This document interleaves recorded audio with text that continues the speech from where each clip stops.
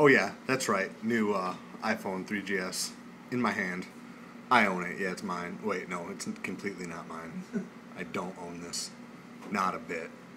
I don't own a single little bit of it. Not even a piece. I just get to hold it and play with it because I'm awesome.